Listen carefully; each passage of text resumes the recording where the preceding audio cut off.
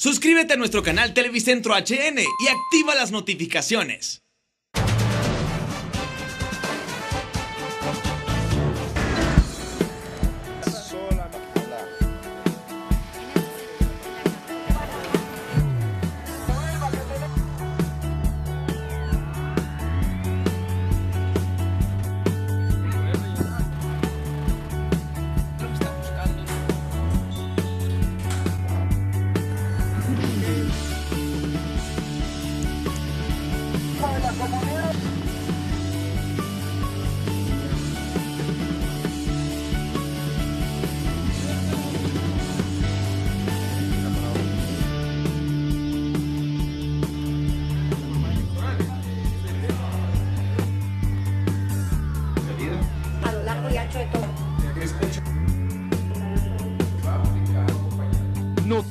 Hoy mismo. Seriedad, veracidad, responsabilidad.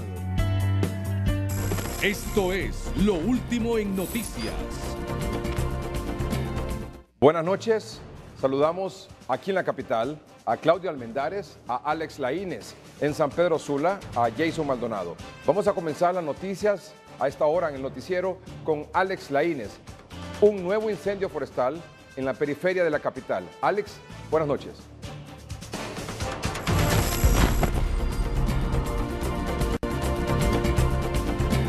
Muy buenas noches, el licenciado Edgardo Melgar, televidente de Noticieros hoy mismo, ubicado en el sector de la montañita, donde usted lo mencionaba, se registra un incendio forestal de grandes proporciones. Me acompaña el capitán Raúl Reyes, oficial del Cuerpo de Bomberos del C9 de las Fuerzas Armadas, quien nos habla de cuánto tiene activo ya este incendio. Muy buenas noches. Buenas noches, sí, el incendio eh, tenemos de tenerlo activo registrado 31 horas desde el día de ayer a la una de la tarde.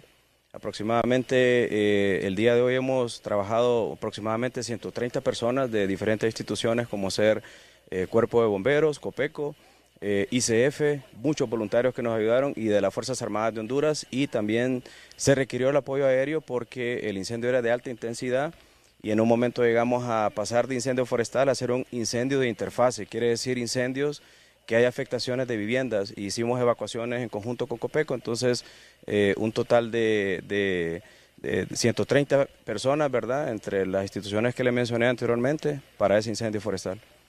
Me mencionaba, ¿hay ya pirómanos detenidos o denunciados en lo que va de esta jornada de incendios forestales? Sí, de los incendios a nivel nacional, lamentablemente que eh, la mayor parte de los incendios son provocados por causa humana, por diferentes motivos.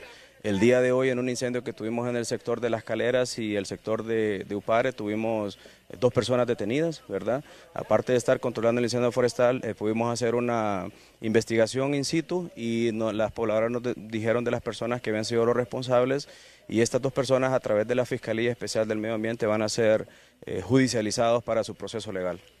Culminamos. ¿Cuántas hectáreas se han quemado, se están quemando producto de los incendios forestales? Fíjese que todavía no tenemos un dato exacto. Eh, estábamos hablando con el ICF y otros actores, ¿verdad? Eh, aproximadamente son un poco más de 200 hectáreas. Mañana se va a tomar eh, ya cuando hayamos controlado una, un trabajo de campo y ahí se va a poder determinar cuántas hectáreas fueron afectadas, pero sí tuvimos la oportunidad de desalojar más de 50 personas en, colonias aledañas, ¿verdad? La montañita, unas residenciales en el sector del oriente y sí, 50 familias pudimos desalojarlas porque estaban en riesgo sus vidas y como le decía, ya aparte de ser incendio forestal fue un incendio de viviendas y con el cuerpo de bomberos, COPECO, ICF y voluntarios pudimos eh, que no hubo ninguna desgracia. Muchísimas gracias al capitán Raúl Reyes. También me acompaña el subcomisionado de Copeco, don Julio Quiñones.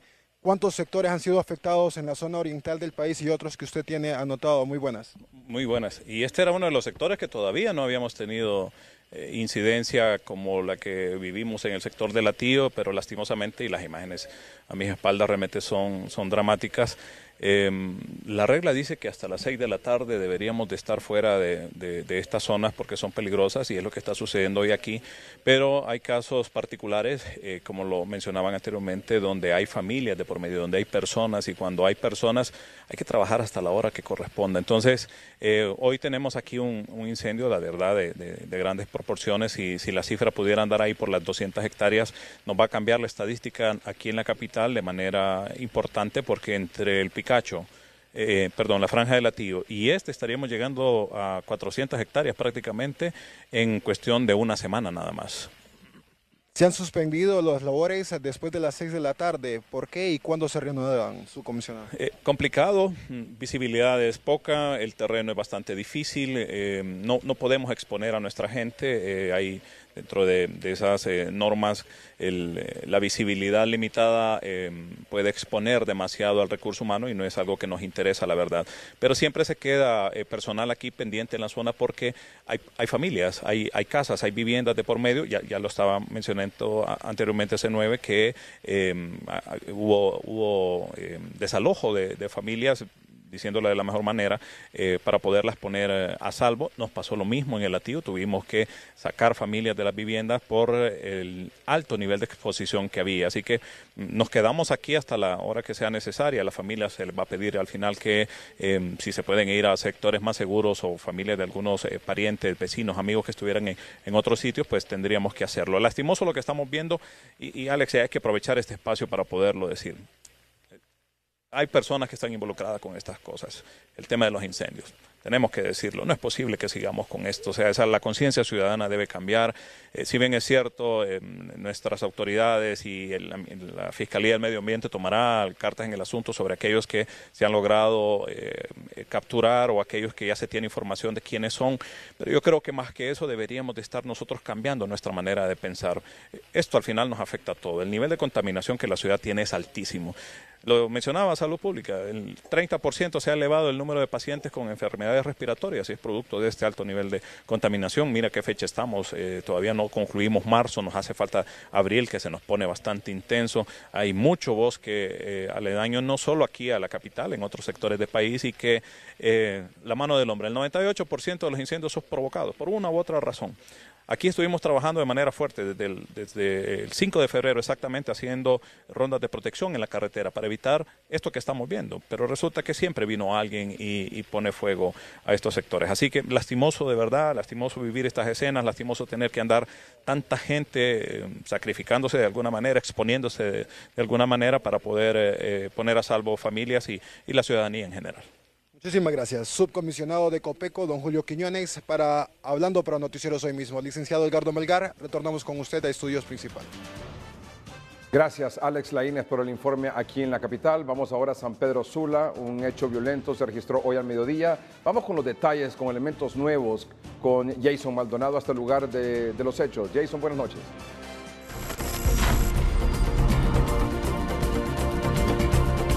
Buenas noches, licenciado Edgardo Melgar, televidentes de Noticieros hoy mismo.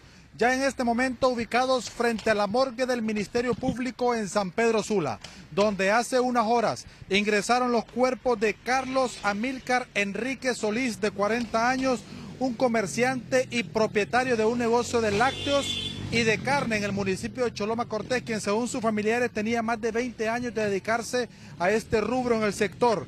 Y también ingresó Emil Mauricio Canelas Zúñiga, de 29 años, quien según familiares, él tenía dos días de haber llegado a nuestro país proveniente de los Estados Unidos supuestamente a visitar a su familia. Y según lo manifestado por las autoridades policiales, estas dos personas estaban almorzando en el interior de un restaurante ubicado frente al Boulevard Las Torres en la colonia satélite, siempre en San Pedro Sula, cuando dos sujetos Dos sicarios desconocidos hasta este momento ingresaron con arma en mano al restaurante y sin mediar palabras les dispararon en reiteradas ocasiones hasta quitarle la vida y los sicarios huyeron con rumbo desconocido. Las autoridades policiales todavía siguen tras la búsqueda de estas personas y según lo que se maneja preliminarmente por las mismas autoridades policiales es que este hecho violento se habría registrado por un supuesto ajuste de cuentas.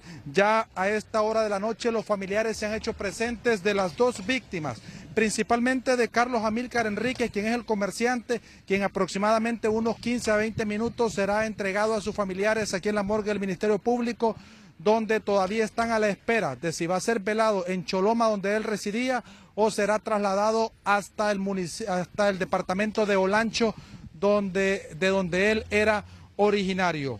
Es lo que nosotros le podemos informar. A esta hora no hay detenidos todavía, pero estaremos pendientes de los resultados de las autoridades policiales. El licenciado Edgardo Melgar, televidente de Noticieros hoy mismo, con este informe, yo retorno con usted. Gracias Jason Maldonado y estos son titulares de otras noticias importantes de hoy. Autoridades investigan supuesta narcoavioneta destruida entre barras de los ríos Ulúa y Chamelecón. Le meten fuego a bosques del sector oriental de la capital que bomberos y Fuerzas Armadas combaten desde ayer. Salud registra casi 3.000 casos de tuberculosis en el país. Solo en San Pedro Sula se detectan 5 casos a diario. Suspenden para el próximo viernes en Estados Unidos audiencia de presentación de medios de pruebas contra Tony Hernández. Este es su noticiero hoy mismo con Edgardo Melgar. Aparece supuesta narcoavioneta destruida entre las barras del río Chamelecón y el río Ulúa en la playa Liguerito, en Cortés. Las autoridades militares, quienes llegaron en lancha a la zona, no encontraron rastros de los tripulantes ni del supuesto cargamento que traería. José Luis Herrera tiene los detalles. La noticia del día es presentada por Diunsa, lo mejor para comprar. Los restos de la narcoavioneta con matrícula N990PA fueron detectados por una aeronave con cámara de reconocimiento de la Fuerza Aérea Hondureña, pero la tripulación no aparece. Recibimos una alerta a través de un, equipo de vigilancia y reconocimiento en el sector que nos informaban que una aeronave estaría eh, ubicada a la orilla de una playa en el sector entre Bajamar y, la, y Punta Sal, exactamente entre las barras del río Lúa y Chamelecón. Lograron identificar a través de un equipo de la Fuerza Naval de Honduras, a través de una lancha se desplazaron a ese sector y encontraron que efectivamente había una aeronave semidestruida porque todavía se encontraban partes buenas de la aeronave y de igual manera otras calcinadas. La avioneta apareció destruida en un radio de un kilómetro a la orilla de la playa El Higuerito, según las autoridades, en una zona controlada por narcotraficantes que habrían recuperado el cargamento luego que la aeronave cayera a tierra. Desconocemos si venían más tripulantes en la, aeronave. Si Personas muertas no hay. Hasta el momento no tenemos esa información. No sabemos si fue un aterrizaje forzoso, no sabemos si fue un aterrizaje eh, ya coordinado y previo a eso pues incendiaron la aeronave. Todas estas investigaciones se determinarán posteriormente de acuerdo al proceso de investigativo que se desarrollará. Por la forma y la ubicación donde está, recuerda que en esos sectores son bien solitarios y las condiciones geográficas del terreno pues da lugar para poder aterrizar este tipo de aeronaves que dedican a comercializar eh, droga en el país. La zona es de difícil acceso. Varios miembros de la Policía Nacional intentaron llegar hasta donde estaba la avioneta destruida, pidiendo ayuda a los lancheros de la zona, pero estos se negaron por temor a morir. Los restos de la aeronave serán trasladados en lanchas navales hasta las instalaciones militares en Puerto Cortés. José Luis Herrera, Noticiero Hoy mismo. La noticia del día fue presentada por Diunsa, lo mejor para comprar. A tan solo 11 días de haber sido lanzada y sin tener aún resultados contundentes, la Fuerza Nacional de Seguridad del Transporte Urbano sufrió hoy el primer cambio de comandante, así nos dice Eddie Quintero.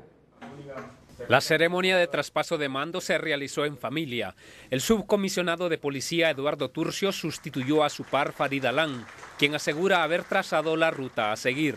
Tenemos totalmente mapeado, digitalizado, eh, identificadas las amenazas, las modalidades en estas diferentes ciudades. Eh, informaciones que ya se las compartía mi subcomisionado Turcio, que quien me sucede en el cargo. Asimismo, tenemos ya la fuerza totalmente planificada, organizada. La incorporación de nuevas rutas al control de la Fuerza Nacional de Seguridad del Transporte Urbano es el objetivo del nuevo comandante. Tenemos la dinámica de trabajo ya diseñada y, trazada. Eh, efectivamente, pues eh, vamos a ir eh, abriendo algunas rutas progresivamente, se vaya implementando para poder llevar ese grado de seguridad y satisfacción a todos los usuarios que sientan ese ambiente, ese ambiente de seguridad y puedan desplazarse a sus lugares de destino con, con mayor confianza y la mayor tranquilidad. Los transportistas esperan trabajar de forma eficaz en conjunto con la nueva autoridad en el rubro. Al final de cuentas lo que se quiere es una operación efectiva. Eh, no se trata de solo algo visual, sino que también que sea objetiva y que sea funcional. Y ese es el detalle, que hoy se ve una estructura totalmente diferente en la cual pues creo que hay esa voluntad y esa eficiencia que se requería. La Fuerza Nacional de Seguridad del Transporte Urbano inició sus operaciones el pasado 12 de marzo, dando especial protección a las rutas María José Mercado y Ato Robles en la capital de la República. Eddie Quintero Noticieros, hoy mismo. Esto es lo último en noticias. Don Julián Pacheco es el secretario de Seguridad. Atiende una llamada telefónica de Noticieros hoy mismo. Don Julián, señor ministro, buenas noches. Buenas noches, Melgar. Gusto saludarle. Gracias, igualmente. Gracias por atender esta comunicación, señor ministro. Eh, tengo tres preguntas para usted, eh, si es tan amable, por favor. La primera de ellas, eh, ¿qué pasó con este cambio del comandante de esta nueva unidad de seguridad del transporte urbano? ¿No duró ni un mes en el puesto? No, él estaba, en realidad ya estaba designado hace como unos dos meses y tenía un problema de, de salud y no está en condiciones pues de asumir las responsabilidades que conlleva una actividad de esta, porque hay un, es un trabajo muy intenso, hay que estar pues, en, buenas condiciones de salud y esa fue la razón por la cual se le cambió. Y, señor ministro, ¿y si ya se sabía que él tenía problemas de salud, por qué se le nombró? Bueno, porque él estaba en tratamiento y creímos que iba a recuperarse, pero no, no, no es posible. O sea, se le dio la oportunidad de, a pesar de estar en un tratamiento médico, hacerle frente a la situación y, y el tratamiento médico no dio el resultado esperado. Así es. ¿E-, ¿Esa es la verdad del asunto? Esa es la verdad del asunto. Entonces, ese es lo que él. Y ella se nombró un nuevo comandante pues, para darle un mayor impulso a la, al trabajo, porque es un trabajo muy, muy fuerte en que se va trabajando de manera escalonada. Sí. Señor ministro, ¿tiene alguna información nueva que compartir con nuestros amables televidentes a esta hora, a las 6.47, de este hecho violento que se registró hoy en San Pedro Sula, en el que murieron dos hombres en el interior de un restaurante a mediodía? Todavía no tenemos uh, hechos, la policía está trabajando, la policía de investigación eh, está trabajando el caso, no tenemos ninguna información que nos conlleve a, plantear alguna hipótesis correcta. Eh, sin embargo, pues lo que sí le puedo decir es que la policía tomó el caso y estamos tomando las medidas correspondientes para identificar a los, a los posibles hechores. El señor ministro, entiendo que usted estuvo hoy en el sur del país, en Nacaome en el departamento de Valle. Entre otras cosas, entiendo que se reunió, entre otras actividades, se reunió con fuerzas vivas, alcaldes de varios municipios del sur del país, especialmente el departamento de Valle. Eh, ¿Cuál es el, en primer lugar, cuál fue el motivo de su visita? ¿Tiene que ver con eh, la muerte violenta el domingo anterior del periodista Carlos Gabriel Hernández? Eh, sí, es una de las razones, pero ya han habido otros hechos también en, el departamento que se nos ha alterado un poco, ha sido uno de los departamentos más que hemos tenido la más baja tasa de homicidios en, en el país y eso nos nos ha alterado un poco, las autoridades locales están un poco preocupadas y fuimos a hablar con los alcaldes y hablar también estuvimos hablando con las autoridades locales y departamentales para uno para decirles pues que la policía está trabajando, que no están solos en la zona que vamos a, y fuimos también a escucharles sus inquietudes, sus problemas que tienen, eh, todo en el campo de seguridad y para tomar algunas decisiones pues que, que nos conlleven a mejorar el servicio de la policía en la zona.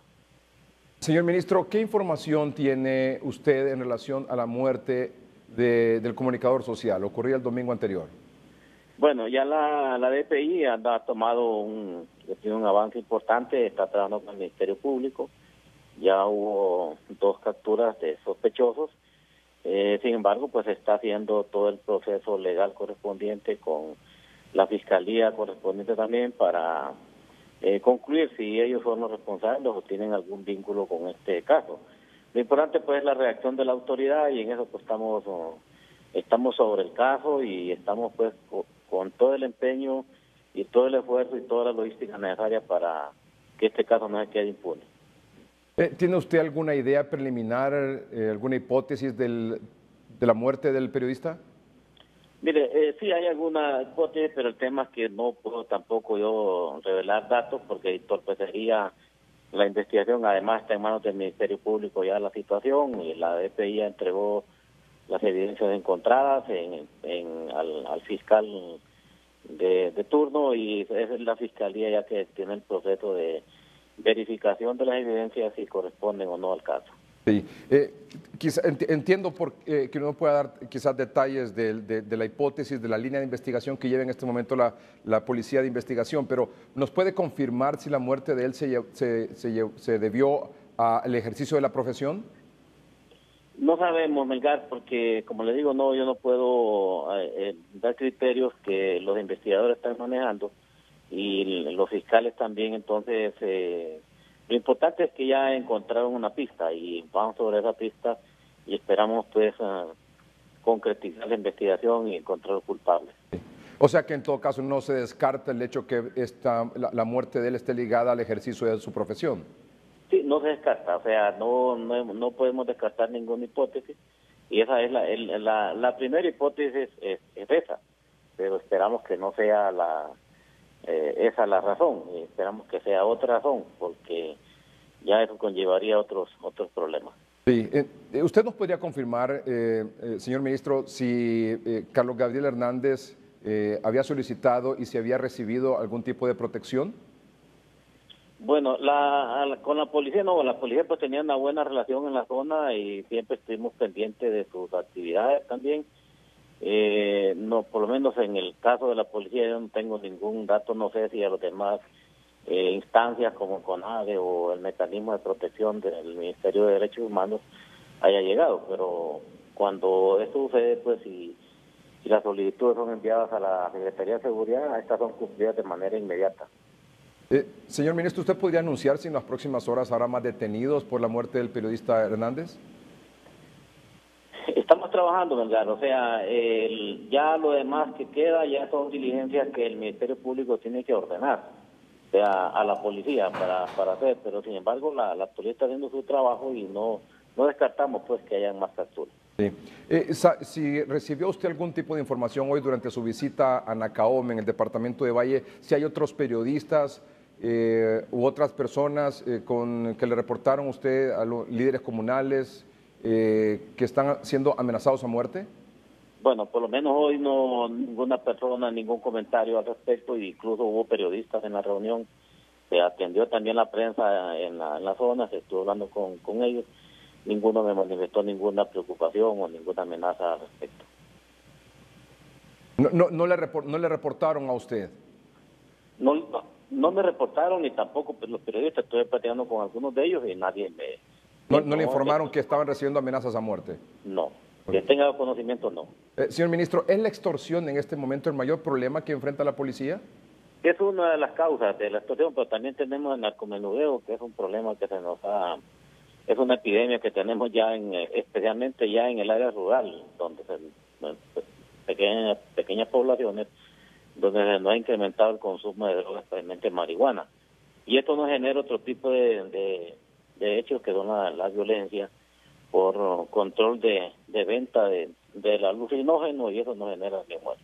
¿Qué es lo que Entonces, está más aparte de la extorsión, la, narcomenudeo también es un problema. ¿Qué es lo que más está afectando a la población ahora mismo? ¿La extorsión o el narcomenudeo? De, depende del área, ¿verdad? Si es en áreas como, como Ayagua o como Tegucigalpa puede ser extorsión, pero en otros lugares es, es el narcomenudeo. En otros es igual, la extorsión y el narcomenudeo, porque a veces están vinculados. ¿Usted comparte la, la, propuesta del presidente de aumentar presupuesto en seguridad para tener más policías? Es que el, problema, Melgar, es que a medida vamos eh, creando sistemas, se van creando unas actividades, van apareciendo más problemas. Por ejemplo, yo le diría que hace dos años el principal problema nuestro eran los homicidios. Los homicidios se nos han reducido bastante, sustancialmente pero nos han aparecido otro tipo de, problemas como el narcomenudeo y también como la violencia intrafamiliar, especialmente en el área rural, que nos está generando una gran cantidad de, muertes, igual que los suicidios. Entonces, eh, la policía medida va creciendo tiene que ir creando unidades especializadas pues, en tratar este tipo de problemáticas. Y no es que no tengamos los recursos suficientes, sí, tenemos que trabajar con lo que tenemos, pero estamos haciendo el esfuerzo por crecer más y tener mejores unidades para darle mejor respuesta a nuestra población. Pero no, me dijo si está de acuerdo o no con esa tesis de aumentar presupuesto en seguridad. Ese es un tema político, Melgar, y nosotros somos ministros, eh, somos subordinados y tenemos que acatar las disposiciones del mando. ¿Usted cree que en este momento, señor ministro, eh, los militares deben continuar apoyando a la policía en, labores de seguridad? Porque tenemos muchos problemas todavía en algunas zonas, eh, algunas zonas que están, están, todavía no hemos logrado, por ejemplo, como Lancho, que tenemos problemas, hemos avanzado bastante, por ejemplo, Colón, eh, por ejemplo, gracias a Dios, que son zonas donde hay bastante presencia militar, porque son zonas mm, geográficamente muy incomunicadas y se necesita pues las herramientas o los medios, la logística que tienen Fuerzas Armadas para poder ejercer presencia en, en estos sectores. Y sí es necesario todavía la presencia de nuestros soldados en las calles apoyando a la Policía Nacional. ¿Cuánto tiempo cree usted más debería estar los militares apoyando a la policía en labores de seguridad? Bueno, no le diría un tiempo perentorio, Mengar, pero sí le puedo decir que la policía, por ejemplo, ahorita ya tiene 17 mil funcionarios y para el 2022 debemos de ser 26 mil. Cuando tengamos ese ya ese nivel de, talento humano capacitado, equipado y todo, entonces creo que ya las Fuerzas Armadas pues podría irse ocupando de áreas específicas o la policía militar, pero también eso depende de los ambientes geopolíticos y de los ambientes sociales que se nos generen en el país. Eh, puede hacer que pacifiquemos rápido la situación en el país y solo sea la presencia de la policía. Pero se nos puede complicar otra situación, o sea, vivimos en un ambiente impredecible en, el aspecto social, Melgar, entonces eh, predecir de fechas, eh, yo diría mejor que estén y, y, tenerlos ahí, que nos ayuden y no que los saquemos y, y que tengamos pues que la policía vaya a ir perdiendo algunos algunas áreas en las cuales pues no, no tiene control total.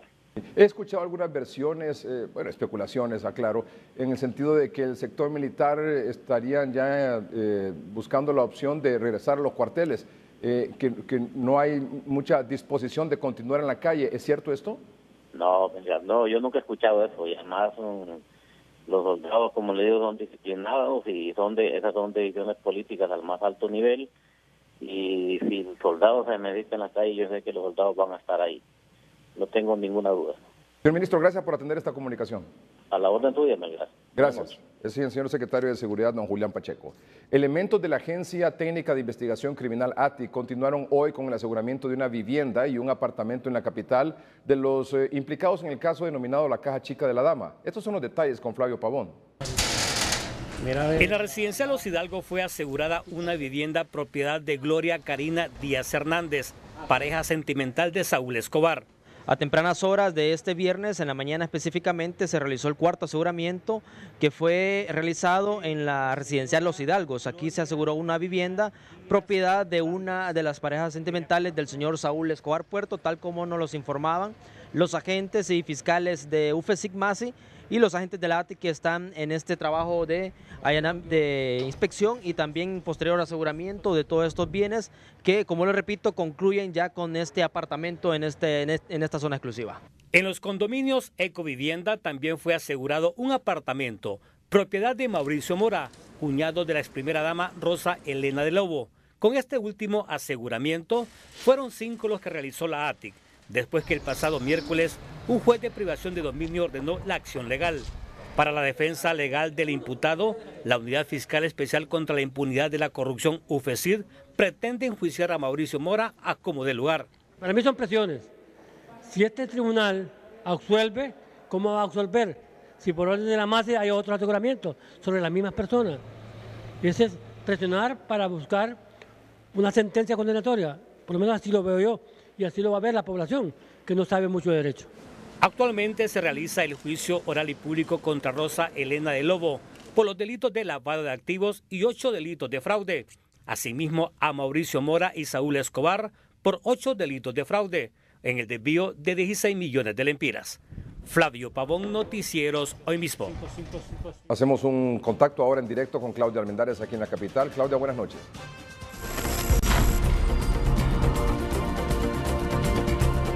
Muy buenas noches, Edgardo. Así es.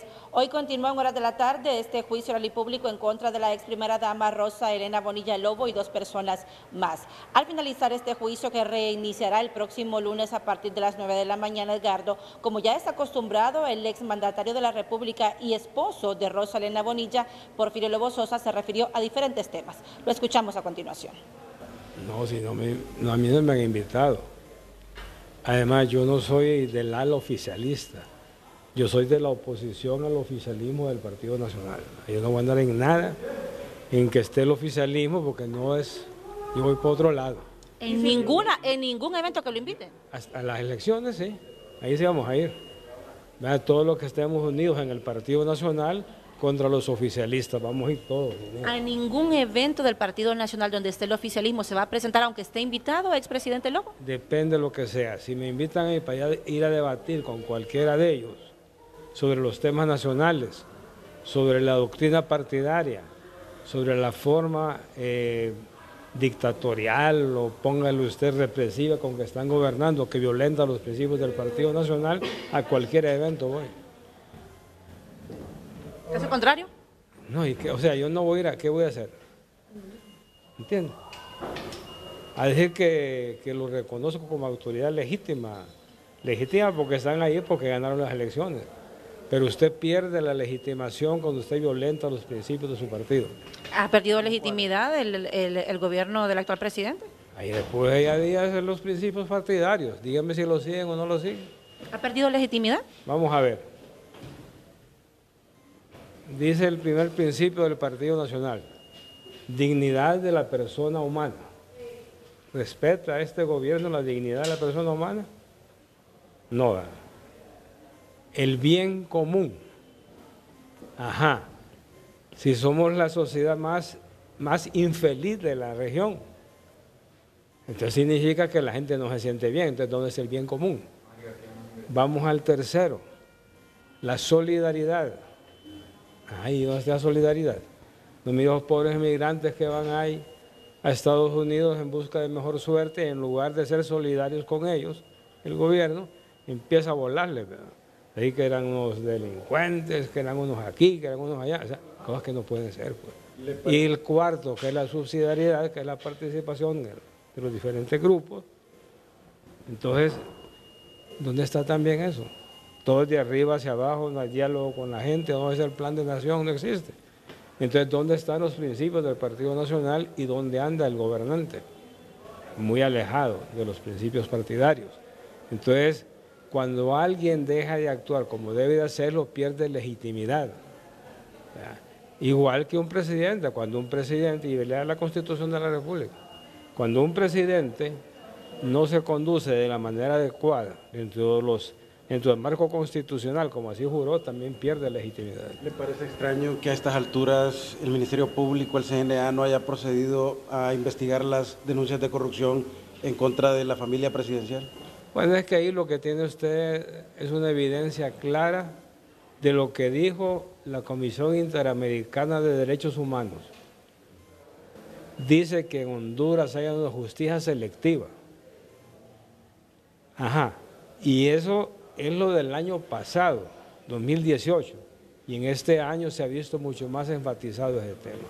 Entonces todos estos organismos, como yo he insistido, no denuncian nada del 2014 para acá. 2014 para atrás, corrupción y demás. 2014 para acá, o sea, 2014, 2015, 16, 17, 18 y ya en el 19 no hay actos de corrupción según los organismos que tienen un millón de líneas de investigación y según los otros que denuncian. Está cambiando el partido. Ah. Honduras, Honduras está cambiando. dice. Honduras está cambiando, se habla de una vida mejor. Yo no dudo que está bien el programa Vida Mejor, pero si quitaran a las ONGs en medio, que son una carga burocrática sobre esos programas y que se presta mucho problema, de, de incluso de que puede haber, puede haber hasta corrupción, como ha sido denunciado, entonces quiere decir que muchos de esos recursos, en lugar de ir a los pobres, van a otras personas. ¿Y quiénes son los dueños de esas ONGs? Ustedes bien saben. No, yo no sé. Yo, yo tampoco. Yo solo sé lo que he escuchado. ¿Qué ha escuchado usted, presidente? He escuchado y que la autoridad se ve, deviene obligada a investigar. Y yo estoy seguro que los del millón de líneas deben tener todo investigado. Que no lo digan es otro tema. Ya van varios requerimientos fiscales presentados por la OPECIC y la MASI.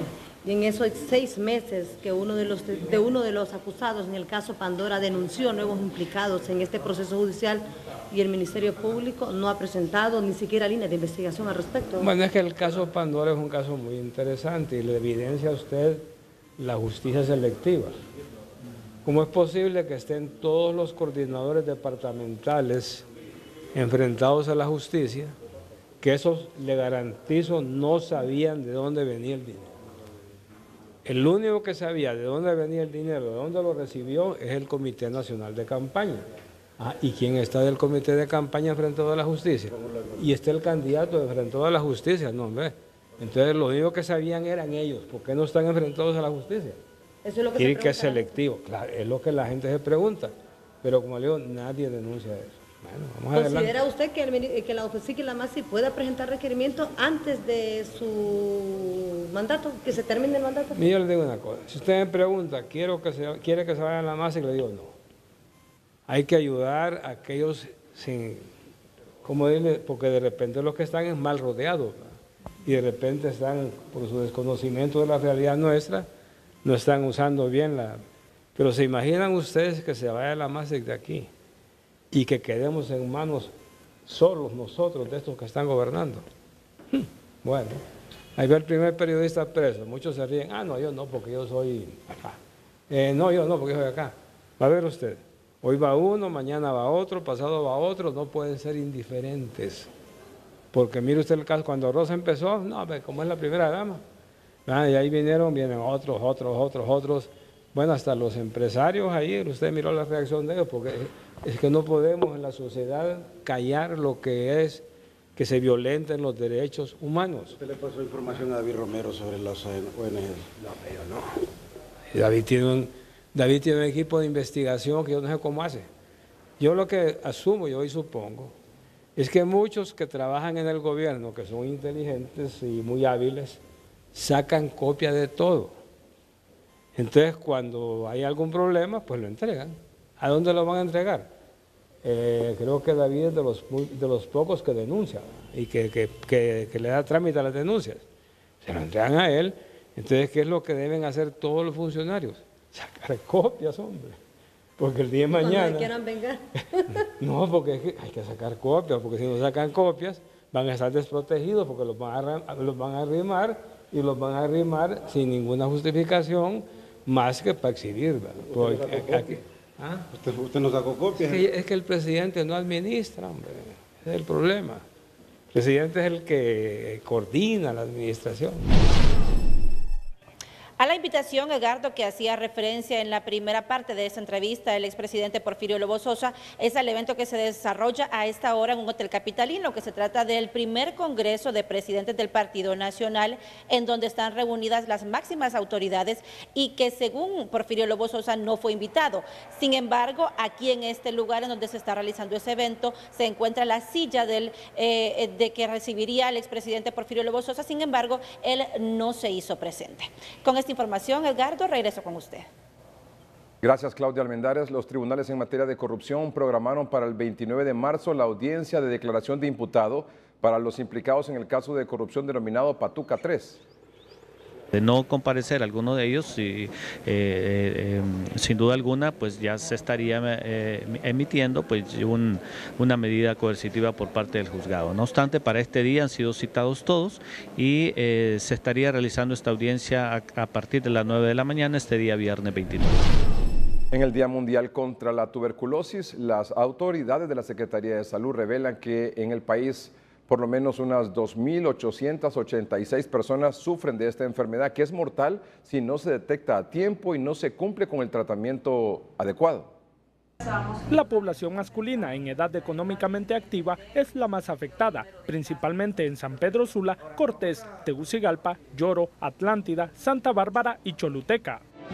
Donde el país ha venido trabajando para prevenir esta enfermedad, que es una enfermedad prevenible, que, que se tiene cura porque se tiene un tratamiento y que eh, no podría ocasionar la muerte si las personas fueran diagnosticadas a tiempo y ponerles un tratamiento. De decirle a los pacientes que han estado en tratamiento con tuberculosis que no abandonen su medicamento porque al, al abandonar el medicamento ya le hacen resistencia a estos medicamentos y tienen que pasar a una fase con medicamentos más agresivos para poder eh, en ellos curar lo que es la tuberculosis. La tuberculosis es una enfermedad infecciosa provocada por un bacilo que se transmite a través del aire y que afecta a diferentes órganos del cuerpo, en especial a los pulmones. Que presente malestar general, fiebres intensas, intermitentes, lógicamente con sudoración externa y en el transcurso de la semana vaya perdiendo peso y lógicamente una tos productiva con dificultad respiratoria que se presente al centro de salud.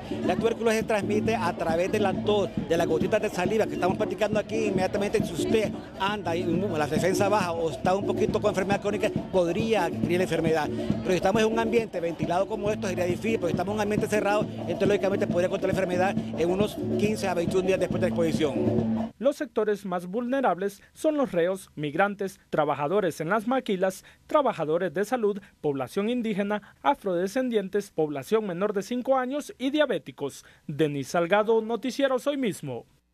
Alarmante incremento de tuberculosis es diariamente detectado en el norte del país. Al menos cinco nuevos casos de pacientes se ven a diario, afirman las autoridades, especialmente en San Pedro Sula.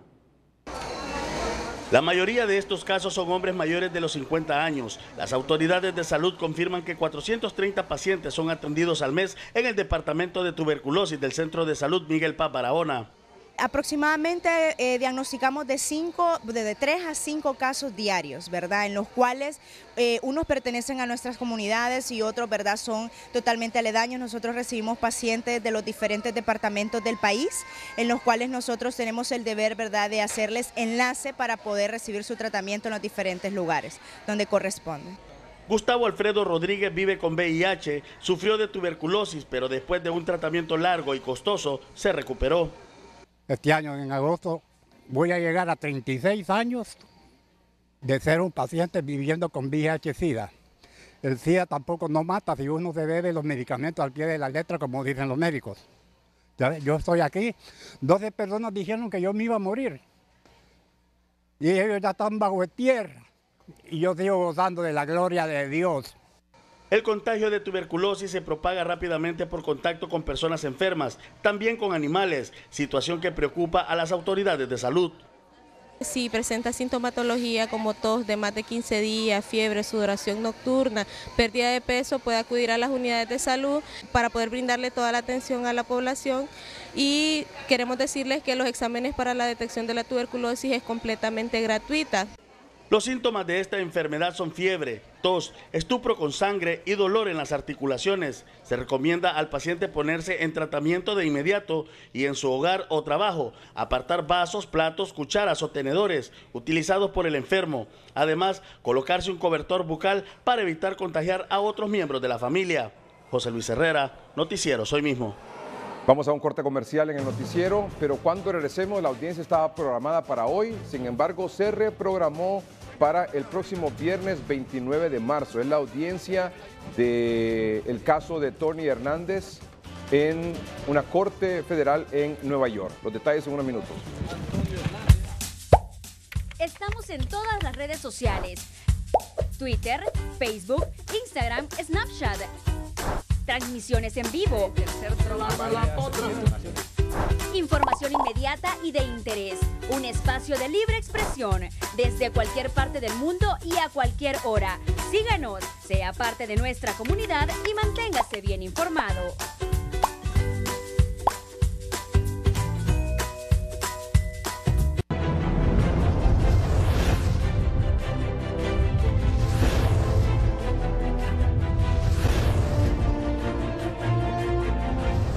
Universal México reciben a AMLO con protestas en Acapulco por estancias infantiles. Alrededor de 50 personas le gritaron fuera, fuera al presidente de México, Andrés Manuel López Obrador, a su llegada al puerto, donde se celebra la convención bancaria.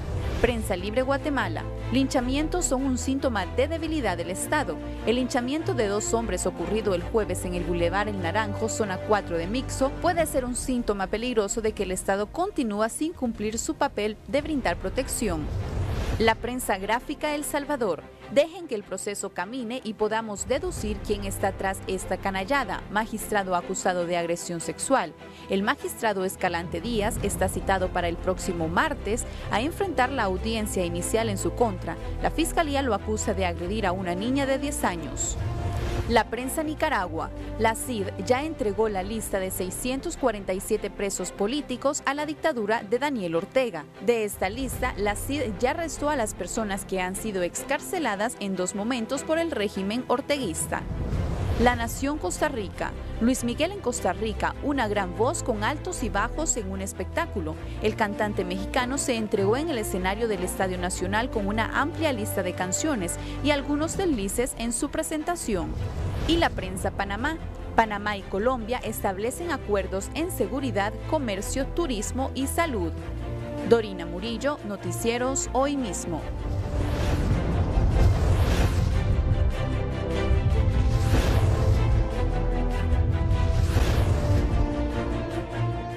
Mujer que acompañaba a un motociclista muere al ser eh, colisionados por un autobús en la ciudad de Choluteca. Javier Palma tiene los detalles.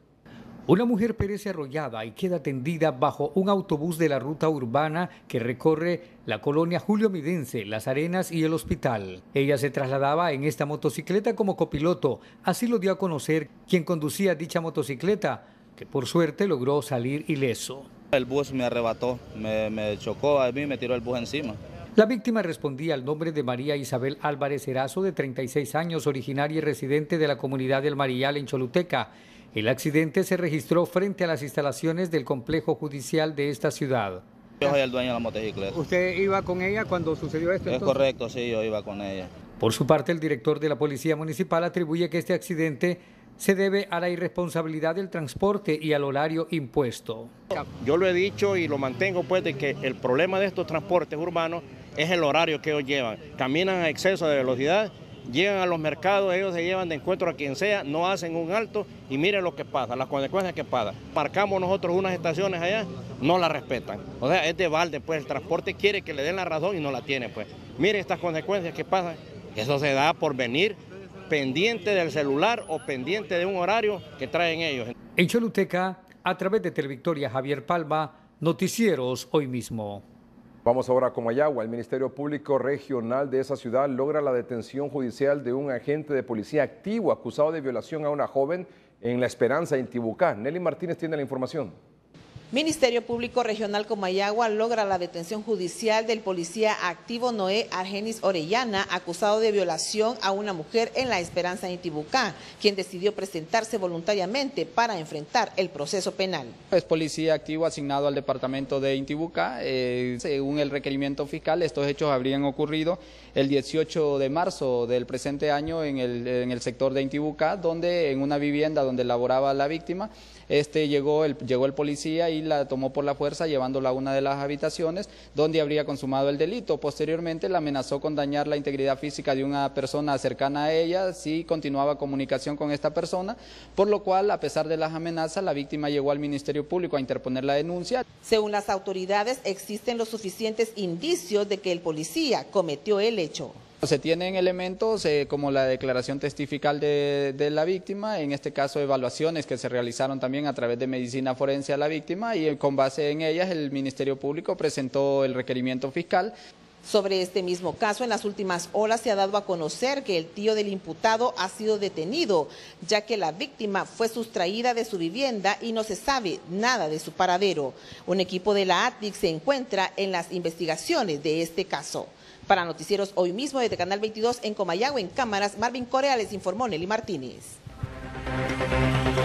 En libertad se defenderá el exdiputado por el departamento de Choluteca, Roger Arquimides Quirós, quien el año anterior fue acusado de defraudación fiscal al introducir desde Alemania un vehículo de lujo en el año 2007.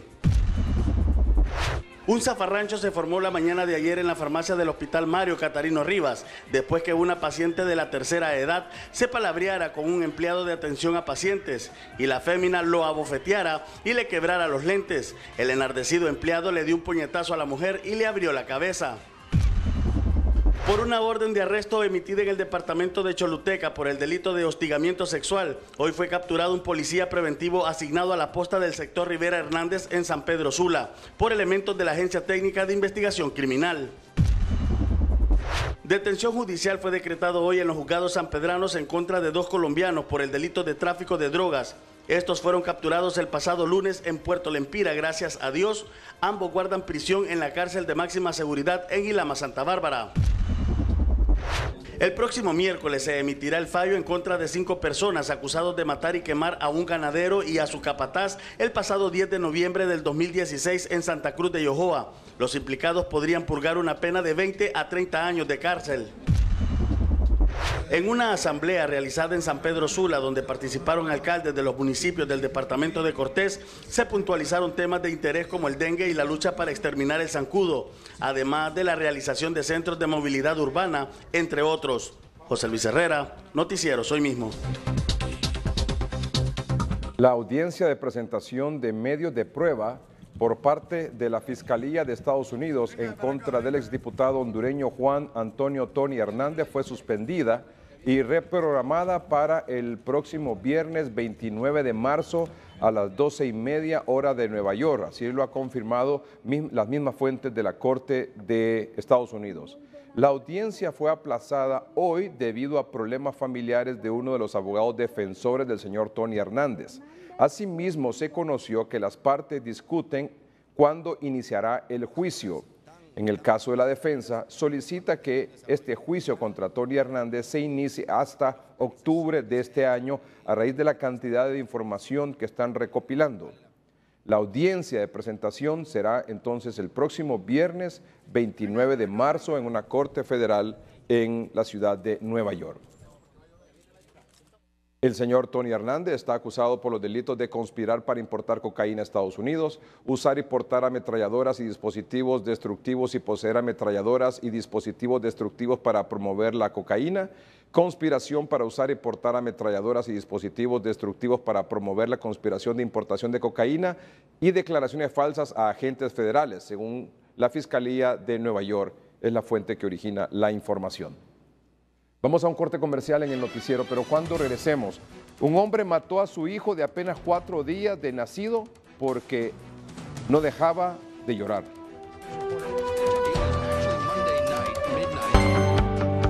Las noticias nacionales e internacionales minuto a minuto están en Noticieros hoy mismo. Síguenos en Twitter, arroba hoy mismo TSI.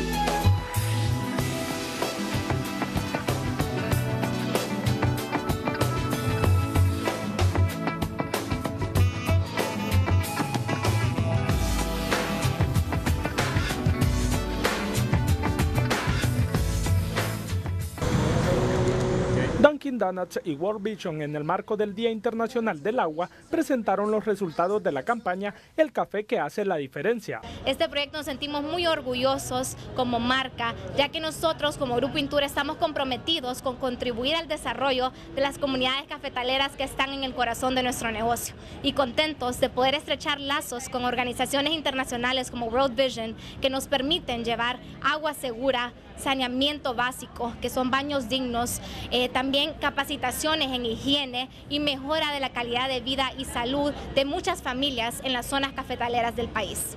Más de 350 niños han adoptado nuevas prácticas de higiene y ahora cuentan con baños dignos en sus escuelas y ecofiltros para consumo de agua limpia y segura. Visitando nuestros restaurantes Dunkin' Donuts a nivel nacional, comprando su café Dunkin' original, que es un café 100% hondureño, con eso ustedes se unen a hacer la diferencia porque con ese porcentaje de la venta que logramos con ese café Dunkin' original o café Dunkin' original con leche, contribuimos a que se puedan lograr en conjunto con World Vision más de esos proyectos. El impacto positivo que se ha logrado con este proyecto permitirá que este año Dunkin' Donuts y World Vision lleguen al departamento de El Paraíso. En estas zonas cafetaleras donde el Grupo Intura está trabajando. Nosotros también tenemos intervención y son zonas muy difíciles de acceder y son estas personas y principalmente los niños y niñas que viven en estas zonas cafetaleras son las que más necesitan acceso a agua pura porque están padeciendo de muchas enfermedades diarreicas principalmente, enfermedades en la piel y también carecen de mucho de saneamiento básico digno y también de comportamientos eh, buenos o, o apropiados para la higiene. Dunkin' Donuts agradece la preferencia de sus clientes, ya que gracias a ellos se logra cambiar la vida de cientos de niños. Vamos ahora a San Pedro Sula con Jason Maldonado. Jason.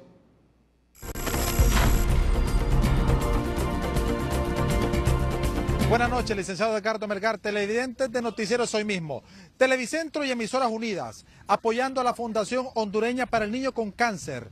Ya en Expocentro está todo listo para que mañana los hondureños puedan asistir a disfrutar del Festival Noche del Sabor. Andrea Díaz, coordinadora de los voluntarios, háblenos más acerca de esto para que vengan los hondureños. Buenas noches. Gracias, gracias por el espacio. Pues súper contento porque ya estamos a pocas horas de nuestro gran evento Festival Noche del Sabor a beneficio 100% de la Fundación Hondureña para el Niño con Cáncer. Hemos estado ya en los preparativos finales, como ustedes pueden ver. Va a ser una noche espectacular. Es mañana, la cita es mañana, sábado 23 de marzo, aquí en San Pedro Sula, eh, en la Cámara de Comercio. Así que aprovechamos a invitar a todos los que no tienen su boleto aún a que lo adquieran eh, en las oficinas de la Fundación o en Supermercados Colonial aquí en San Pedro Sula. Así que para que no se pierdan esa gran noche en donde por primera vez vienen dos artistas internacionales. Tenemos a Basilo, Zion y Lennox. Tenemos, es un festival gastronómico en donde participan con nosotros más de 15 restaurantes de la ciudad. Entonces empieza desde las 6, de, 6 pm. Así que es una noche realmente inolvidable, no se la pueden perder y sobre todo que que estarán apoyando a esta gran causa como lo es la Fundación Hondureña para el Niño con Cáncer mañana tempranito todos los hondureños, no importa la parte del país, tienen que venir a disfrutar y deleitarse de este concierto y las diferentes comidas. Así es, no se la puede perder, habrá música, comida, diversión, o sea que realmente no se la pierdan y siempre tener en mente que están apoyando esta gran causa. Así que los invitamos a todos a que adquieran sus boletos. Ya estamos a pocas horas, así que apúrense, adquieran sus boletos y apoyen a esta gran causa. ¿Dónde los pueden comprar? En Supermercado Colonial, aquí en San Pedro Sula y en las oficinas de la Fundación Hondureña para el Niño con Cáncer. Muchas gracias. A Andrea Díaz, quien es la coordinadora de los voluntarios de la Fundación Hondureña para el Niño con Cáncer. Licenciado Edgardo Melgar, televidente de Noticieros hoy mismo, con esta noticia positiva, yo retorno con usted a estudios principales. Bien, gracias Jason Maldonado. Para verificar que el pescado seco que se vende está en buenas condiciones, autoridades de la Fiscalía de Protección al Consumidor han eh, realizado hoy una visita a puestos de venta de mariscos en la Feria del Agricultor en el Estadio Nacional, junto a otras autoridades. Estos son los detalles. Las autoridades anuncian que en los locales que se encuentre producto en mal estado será decomisado. Bueno, vamos eh, en conjunto con Digepesca que, que tiene la autoridad para levantar el producto y luego nosotros como protección al consumidor eh, proceder administrativamente con las sanciones respectivas.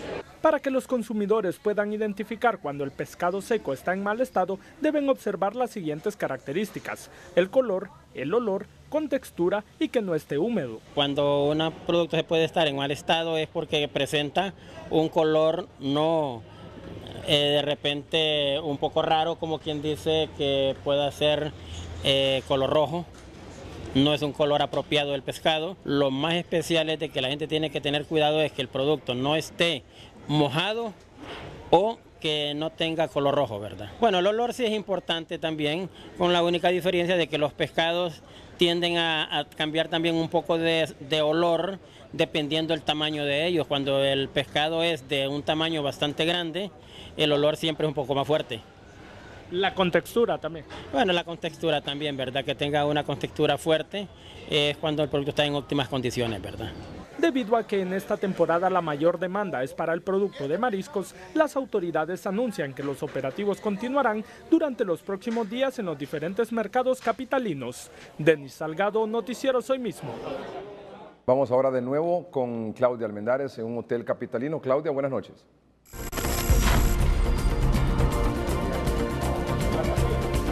Buenas noches nuevamente, Edgardo, en compañía del designado presidencial Ricardo Álvarez, porque la cúpula del Partido Nacional se encuentra reunida hoy en un evento. ¿De qué se trata este evento? Buenas noches. Muy buenas noches, Edgardo, muchas gracias. Eh, mira, hoy creo que es una fecha histórica en el Partido Nacional, donde se le está haciendo un reconocimiento a Osvaldo Ramos Soto, un líder indiscutible en nuestro partido que tiene todas las características de un hombre luchador, que se esfuerza, que trabaja, que ha sido realmente pieza fundamental en los triunfos del partido. Y eso obviamente es eh, algo que nos motiva hoy aquí a los 298 alcaldes, eh, presidentes de comités locales, algunos siendo alcaldes, y venimos a hacerle un reconocimiento a él. Y ha venido Ricardo Maduro, ha venido el presidente Oliva, ha venido Reinaldo Sánchez, que es quien convoca esta reunión, ha venido el alcalde Calidonio, Tito Afura, eh, la verdad que muy contentos de, tener aquí un encuentro donde el nacionalismo se ha reunido. Hoy entrevisté a Porfirio Lobo Sosa y, antes de eso eh, también quiero comunicarle a Edgardo que aquí se encuentra presente y está disertando en este instante el actual presidente de la República, Juan Orlando Hernández. Sin embargo, más temprano tuve la oportunidad de entrevistar a don Porfirio Lobo Sosa, me decía que él no fue invitado a este evento, eh, lo que vimos acá es que en una de las sillas de este sector, de este lugar, sí estaba el nombre de él. ¿Qué pasó? ¿Por qué él no se hizo presente? Bueno, yo, yo también soy invitado, no soy de los organizadores del evento y, lamento que no esté aquí. Pepe Lobo es Partido Nacional. Pepe Lobo es un expresidente del partido que dejó una serie de, de hechos históricos en la democracia de nuestro partido y en el fortalecimiento de la democracia de Honduras es alguien que yo respeto, alguien que yo admiro y que me solidarizo constantemente con él. Eh, crea lo que voy a preguntar por qué no está acá. Eh, debió haber estado acá y si no lo invitaron definitivamente fue un craso error. También, eh, mientras, eh, mientras se realizaba también esa entrevista más temprano con el actual o con el ex presidente Porfirio Lobo Sosa, dijo que él era miembro de la oposición del Partido Nacional. Hace unos instantes el presidente de la República hizo referencia a que aquellos que están en la oposición traicionan a la patria y traicionan al partido. ¿Cómo toma usted esa declaración y en cuál de los dos sectores se queda usted? No, mira, yo, yo creo que dentro del partido lo que hay, y evidentemente el que no quiera eh, darse cuenta, es que sí hay diferencias personales, pero en ningún momento sentí, por lo menos yo, de que la declaración del presidente Hernández vaya dirigido al presidente Lobo. Yo por lo menos no lo interpreto así y quiero dejarlo por lo menos constancia en este medio de que la interpretación que usted hace no es la que yo recojo. Él lo dice en general, porque muchas veces se ha dado de que una alcaldía, que un diputado, pensando más en su alcaldía o en su diputación, hace alianzas con la oposición para sacar más votos. Por ahí lo vio, porque sí ha pasado antes. Eh, el presidente Lobo pueda que tenga diferencias, como lo sabemos, pero es un hombre que va a trabajar porque el partido vuelva a ganar las próximas elecciones. Eso no tengo la más mínima duda al respecto. ¿Habrán elecciones internas o se hará nada más por candidato único como eh, se ha venido especulando? Yo le digo, se la tiro de esta manera, le apuesto un almuerzo de que sí van a haber elecciones internas en el Partido Nacional. ¿Usted qué dice? Vamos a estar ahí pendientes para verificar que eso ocurra. Bueno, pues yo sí creo, o sea, eso es lo que quiere el partido, no le vamos a quitar el derecho al, al nacionalista a, definir ese derecho universal e individual de escoger libremente a quien quiere que sea su candidato y luego su presidente y su alcalde y su diputado. Así que en ese aspecto puedo decirle, el grupo de amigos que estamos trabajando a nivel nacional, en noviembre a más tardar de este año vamos a tener una asamblea popular nacionalista donde vamos a hablar de tres cosas. Uno, una nueva propuesta a lo interno del partido. Dos, una propuesta de cómo vamos a reinventar Honduras y tres, a dónde se va a escoger el candidato de este grupo, de esta fuerza, de este movimiento que ya está en los 298 municipios del país. Algunos dicen que pueda que sea yo, pero yo no he tomado mi decisión y eso también le puedo hacer una apuesta, que ahí vamos a ver y al final voy a respetar lo que diga el nacionalismo. lo que digan mis seguidores, no lo que yo quiera. Hasta el momento que ha analizado, ¿será usted parte de esos precandidatos presidenciales o se, o se añadirá usted o, o será parte de otro movimiento? Mira, lo que sí he dicho y lo siento y lo presiento es que un día voy a ser presidente de Honduras. Pero para eso tiene que estar en unas elecciones internas y luego salir electo en esas elecciones. Sí, y puede ser ahora, o puede ser dentro de cinco años, o puede ser dentro de nueve años, o puede ser dentro de trece años. No sabemos, nunca se sabe, pero lo que sí puedo decirles es que voy a seguir trabajando para mantener a mi partido unido, luchando por el sector agrícola de nuestro país, sector café que está tan fuertemente afectado y los otros sectores de granos básicos que están igualmente afectados. Voy a seguir llevando una lucha en ese aspecto. Agradecemos muchísimo por haberse tomado el tiempo de acompañarnos en esta noche. Edgardo, con esta información voy a regresar con usted.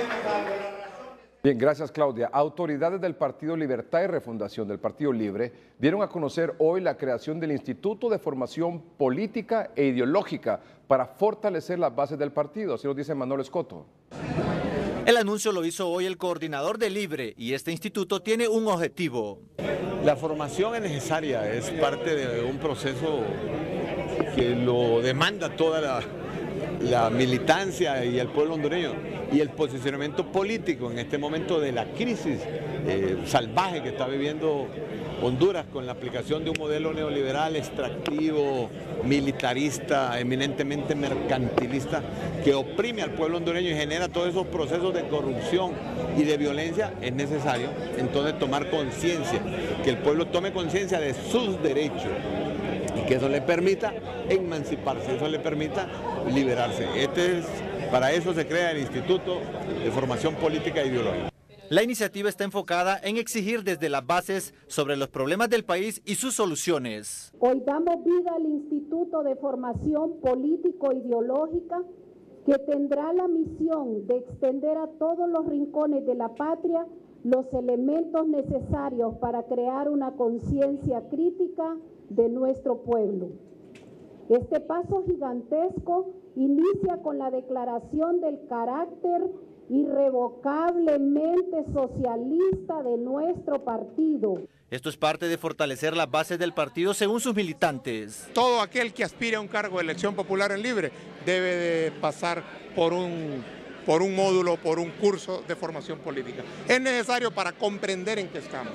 Recordemos que vivimos en un país que donde durante 50, 60 años han enajenado al pueblo y le han sembrado la idea de que el socialismo es malo.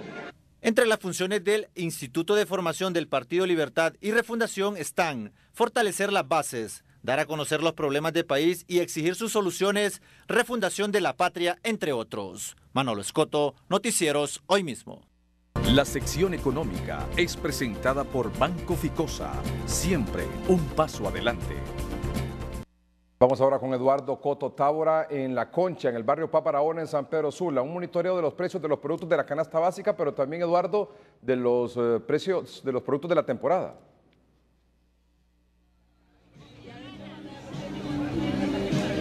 Así es, Edgardo. Televidentes de Noticieros hoy mismo. Buenas noches, papel y lápiz, porque aquí tenemos los precios de los productos de la temporada. Camarón sin cabeza, grande, del Golfo, 150 lempiras, con cabeza a 110 lempiras.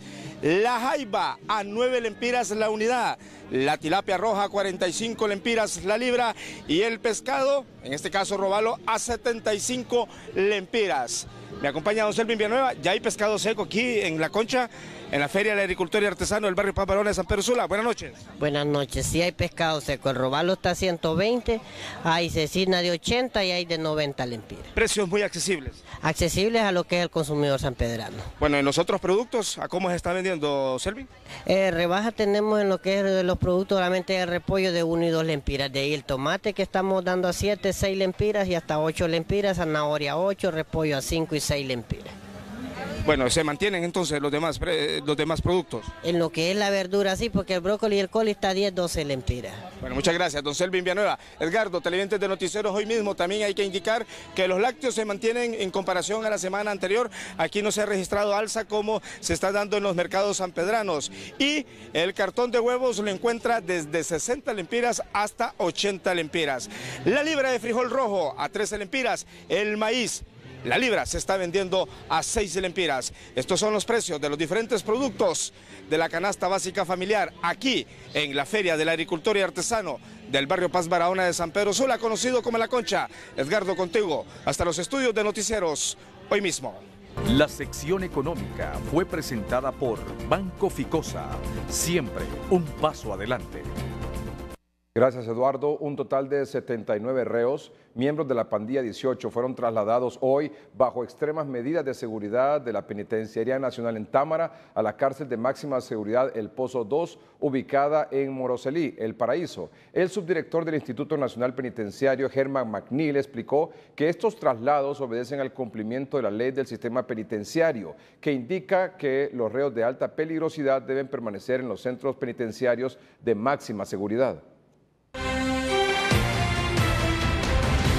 Las autoridades que conforman FUSIN en el litoral atlántico del país realizaron una inspección este día en el centro penal de Barrio Inglés de esta ciudad de La Ceiba, en la cual se decomisaron 32 celulares, 8 parlantes con dispositivos Bluetooth, varios cargadores, tarjetas de chip, dos mini reproductores de música MP3, tres cuchillos hechizos y 29 envoltorios con supuesta hierba seca marihuana. Estas acciones policiales se llevaron a cabo desde tempranas horas de la mañana. Esto periódicamente para evitar de que eh, pues mantengan lo que son aquellos objetos prohibidos dentro del recinto. Desde tempranas horas están realizando lo que son inspecciones dentro de este centro. Según las autoridades del orden, esta acción es parte de la operación Morazán número 2 que se ejecuta desde hace unos días en los distintos sectores del Caribe hondureño. En la Ceiba, un Monje, Noticieros hoy mismo. La ciudad de Ciguatepec es sede del primer Festival del Café, creado como primer objetivo de aperturar nuevos mercados y oportunidades para los productores y así tener precios justos para este sector de gran interés para la economía del país. Las charlas eh, se trata del, climático, eh, tipos de, de café, cómo lo pueden preparar cómo lo pueden fermentar, depende de la altura, cómo le pueden sacar rendimiento al café. Y estamos contentos por el, arranque de este, de este festival que nos ha permitido dar a conocer la calidad de nuestro producto. Desde la ciudad de Ciguatepeque para Noticieros hoy mismo, Omar Valenzuela. El movimiento ambientalista más realizó un acto lúdico en el Parque Central de esta ciudad de Santa Bárbara, en la celebración del Día Mundial del Agua, que se celebra hoy 22 de marzo. Eh, estamos aquí porque hoy 22 de marzo es el Día Mundial del Agua y el agua a quien afecta directamente son a los cuerpos y las vidas de las mujeres. Estamos viviendo un fenómeno eh, de no solamente de escasez de agua, sino de contaminación del agua en el departamento de Santa Bárbara y lo que nos preocupa enormemente es la masiva eh, otorgamiento de planes de manejo forestales para el aprovechamiento del bosque. Esta organización ambientalista pida que se paren los permisos de otorgamiento de operaciones, de cortes de árboles que han sido afectados por el gorgojo. Cristian Molina en cámaras, Alexi Gutiérrez, Noticieros, hoy mismo. Esta es una noticia de última hora. Mucha atención, en efecto, es una noticia de última hora. Se trata de la captura de individuos que pretendían eh, provocar un incendio forestal. Vamos con los detalles de la información con Alex Laínez. Alex, buenas noches.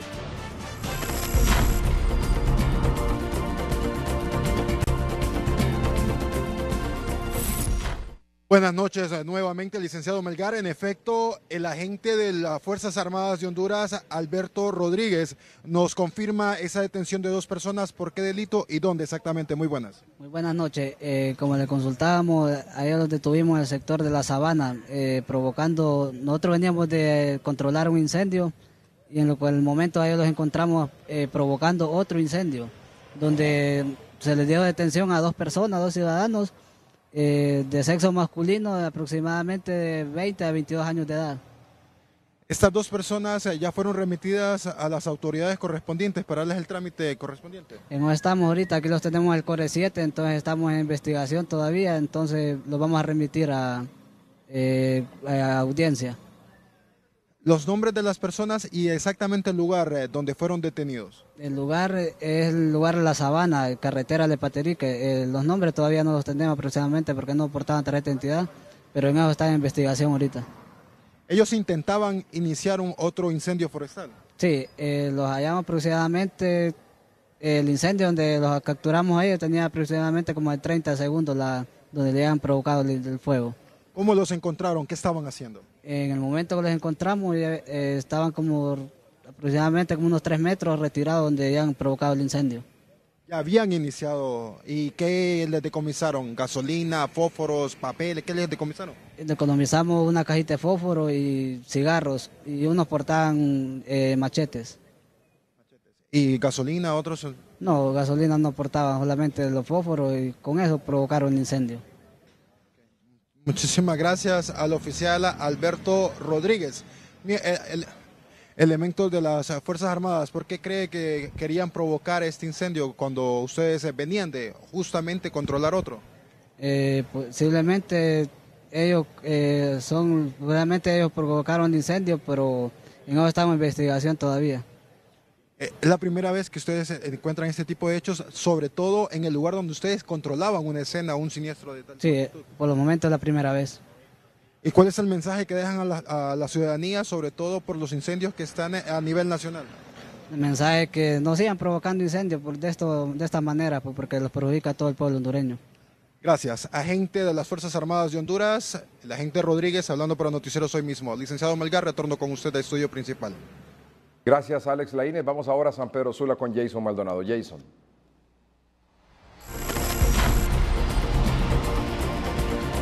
Efectivamente, licenciado Edgardo Melgar, televidente de Noticieros hoy mismo. Lo último en noticias se registra en el municipio de Choloma, donde a esta hora de la noche se reporta la muerte de una persona. Y según testigos, los que estaban presentes en este lugar, un ciudadano, la víctima que está aquí, supuestamente estaba asaltando a unas féminas, cuando de repente el conductor de un vehículo se paró y al ver la acción, del ciudadano que estaba asaltando a la fémina sacó su arma y sin mediar palabra le disparó en reiteradas ocasiones y huyó con rumbo desconocido. Estamos hablando que ya a esta hora las autoridades han llegado hasta este punto debido a que la víctima andaría entre unos 20 a 25 años. Supuestamente, como dicen los testigos, sería un asaltante el que habría muerto en este punto frente a la colonia Las Torres, sector López Arellano, en Choloma, Cortés. Ya estamos a la espera de que las autoridades también de medicina forense puedan venir hasta este punto, verificar también la información de que es un supuesto asaltante y asimismo confirmar cuál es la identidad de la persona que ha muerto en este punto. No se reportan tampoco personas detenidas referente a quien le disparó al supuesto asaltante en el municipio de Choloma. Con este informe de último momento yo retorno con ustedes a estudios principales. Muy bien, gracias a Jason Maldonado en San Pedro Sula. De hecho, nos quedamos en San Pedro Sula porque anoche fue inaugurada en el Campo Agas, en el Centro de Convenciones del Campo Agas en San Pedro Sula, la Feria Tecnológica Agroindustrial.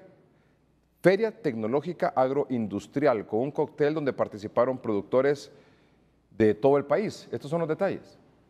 Con el fin de promover la tecnificación de los productores de toda Honduras, anoche se realizó un cóctel para inaugurar la Feria Tecnológica Agroindustrial en el Campo Agas, en esta ciudad. Vamos a tener un producto financiero al 9.5% de interés anual, plazos para tractores y camiones hasta 7 años, en equipos hasta 5 años, descuentos de fábrica y lo más importante, vamos a tener en un solo lugar toda la maquinaria disponible en Honduras para que el productor pueda tomar ahí la mejor decisión de qué es lo que más le conviene. La feria tecnológica culmina mañana en la cual se pretende mover unos 100 millones de lempiras en el sector. Pretende mover 100 millones, aquí hemos tenido el apoyo de Banprovi y un banco privado para poder eh, hacer este, este esfuerzo de bajar la tasa de interés. El objetivo final es ese, que realmente la gente tenga acceso a la tecnología de punta que pueda eh, llevarla a hacer más eficientes las unidades productivas en un mundo que cada vez es más competitivo. En esta feria los productores contarán con la mejor tecnología para equipar sus haciendas. José Luis Herrera, Noticiero, soy mismo. no se separen, no se separen, tienen que venir los, dos líneas ahí, juntas.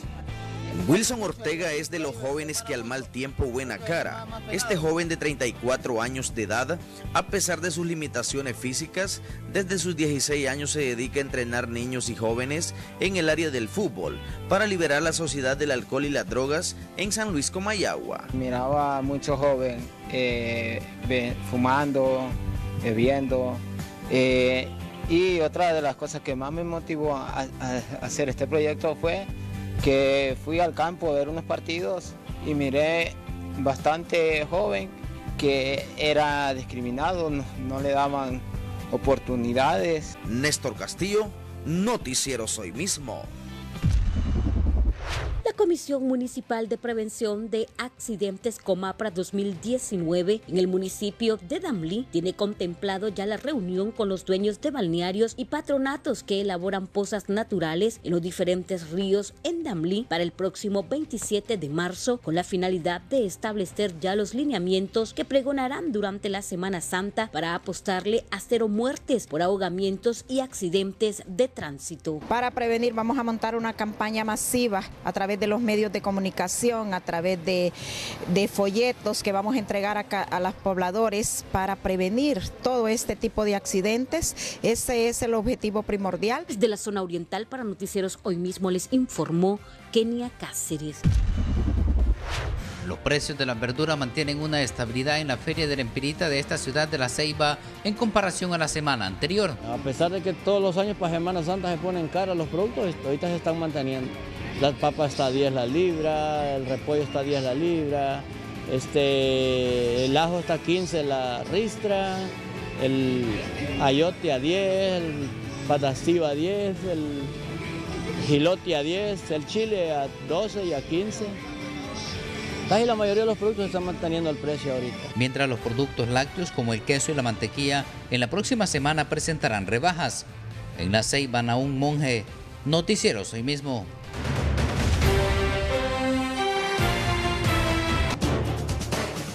No hay tiempo para más, solo para agradecerles el favor de su atención. Buenas noches y que estén bien. Este es el resumen de noticias. Un comerciante de lácteos y carne y un amigo suyo que hace dos días había llegado a Estados Unidos fueron ultimados a balazos por dos sicarios en el interior de un restaurante en la colonia satélite en San Pedro Sula.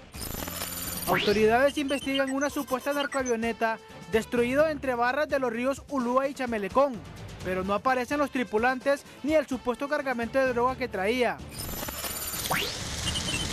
Los bomberos y las Fuerzas Armadas cumplen dos días de esfuerzos para lograr controlar el incendio que ha destruido numerosas hectáreas de bosque al oriente de la capital, por el sector de la montañita. Las autoridades de salud en Tegucigalpa revelaron que en el país se registran casi 3.000 casos de tuberculosis, mientras que en San Pedro Sula las autoridades sanitarias dijeron que en el centro de salud Miguel Paz Barahona se detecta un promedio de 5 casos a diario. La audiencia de presentación de medios de prueba por parte de la Fiscalía de Estados Unidos en contra del exdiputado hondureño Juan Antonio Tony Hernández fue suspendida y reprogramada para el próximo viernes 29 de marzo, confirmaron medios estadounidenses. La extorsión y el narcomenudeo son los principales flagelos que combate la policía en el país, dijo el secretario de Seguridad, Julián Pacheco, quien es del criterio que la policía militar debe continuar apoyándolos. Este fue el resumen de noticias.